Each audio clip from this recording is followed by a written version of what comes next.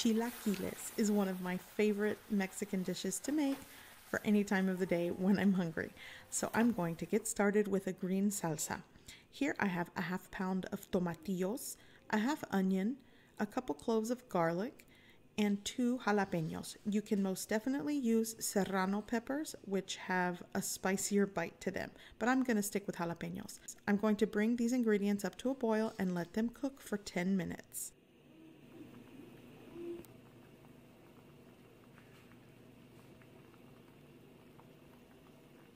In the meantime, I'm going to prepare my tortillas. Today, I'm going to be making an individual serving of chilaquiles for myself. So here I have four corn tortillas, and I'm just going to cut them into small chip sizes. Now, when making chilaquiles, I've actually been in desperate times where I had no corn tortillas, but I had chips. So I just use like the corn tortilla chips that you buy at the store but I'm going to show you what I normally do. And I take corn tortillas, I'm going to put around a quarter cup of oil in the pan, and I'm just going to toast them, much like I would do migas. Now, when people make chilaquiles, they sometimes deep fry them because you want to get the corn tortilla basically like a crunchy chip. But I'm just doing this for myself, so most days I just toss it in a pan with a little bit of oil and I do everything in one pan pretty much. Now, if you are serving more people chilaquiles, you definitely want to double the size of your salsa and probably quadruple the size of the corn tortillas. And just bear in mind, this is one of many ways to make chilaquiles. I don't have the most authentic way to make them, but they are tasty and it won't stop me from trying. So back to the salsa. So here I have all of my ingredients. They are boiled. Now I'm going to blend them. I've drained most of the water with the exception of around maybe a half cup to a cup of the, the water that was in the pot. So now I'm just going to add everything to the blender. And I do encourage you to season to taste. I'm going to add a pinch of salt. I'm also going to add a half teaspoon of chicken bouillon base. You could also add your chicken bouillon powder if you have it. I'm also going to be adding a whole bunch of fresh cilantro. Again, make the salsa your own, use what you have, don't let it stop you from making this wonderful dish. So here we go.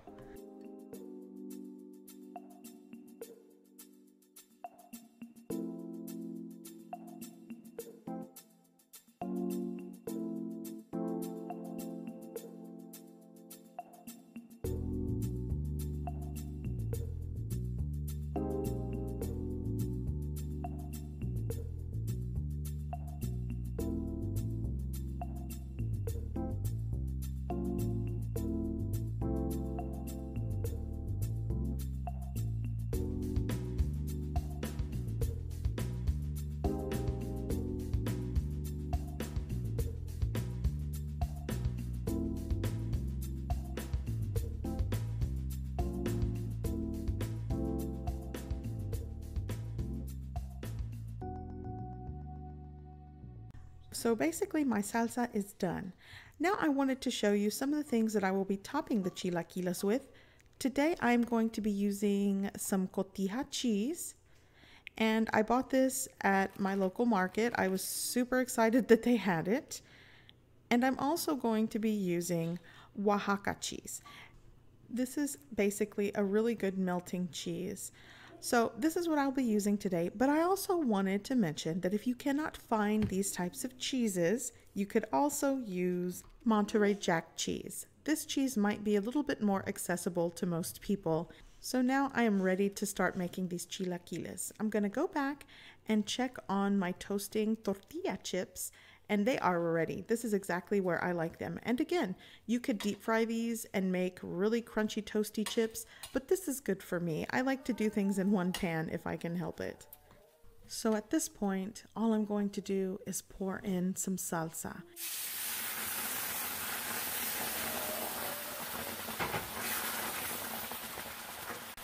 Okay, so at this point, if you have some epazote, add it. And I could not find any this time around, but it's not going to stop me from making this. But I wanted to show you what it looks like. Here is some fresh epazote.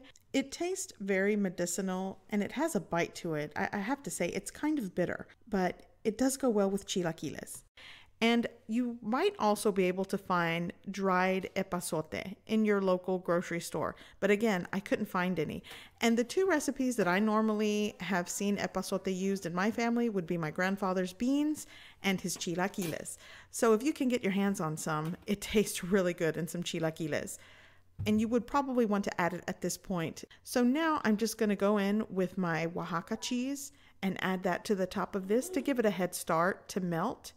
And as always, all the ingredients will be listed in the description box below.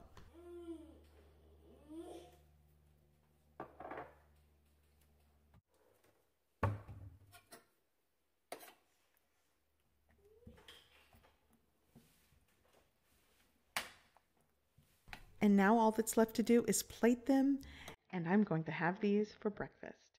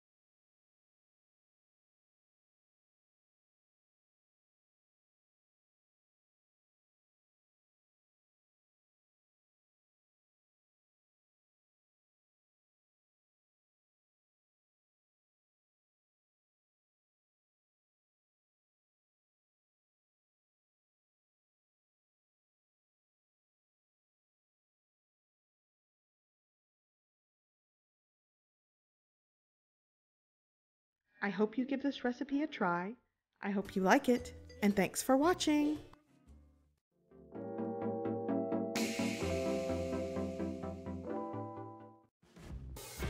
Hey guys, you can click on the video icons for more recipes, or you can click on my picture icon to subscribe. Thanks for watching!